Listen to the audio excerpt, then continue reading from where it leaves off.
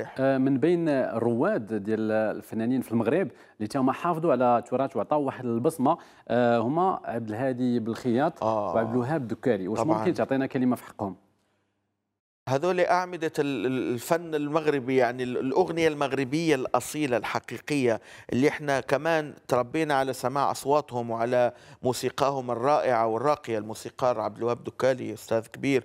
الفنان العظيم عبد الهادي بالخياط الله يشافيه طبعا آه، الصوت العظيم اللي نحن حفظنا آه، آه، أغانيهم وأساميهم هدول عنوان للأغنية المغربية واللي لازم أنا آه، أحث على الشباب المغربي والفنان المغربي الصاعد ي- يتمسك بهذه الأغنية المغربية إيقاعا ولحنا و... وكلمة. وكلمة وي- ويضل ماشي على نفس السكة مثل ما أنا بكل تواضع. ماسك سكة الفنان الراحل صباح فخري الله يرحمه.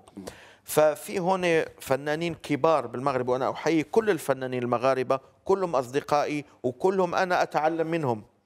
يعني في عنا أصوات رائعة جدا فيها تشيل هذه المسؤولية وأتمنى لهم كل التوفيق. هذا تواضع منك سي بدر. الله يخليك لا.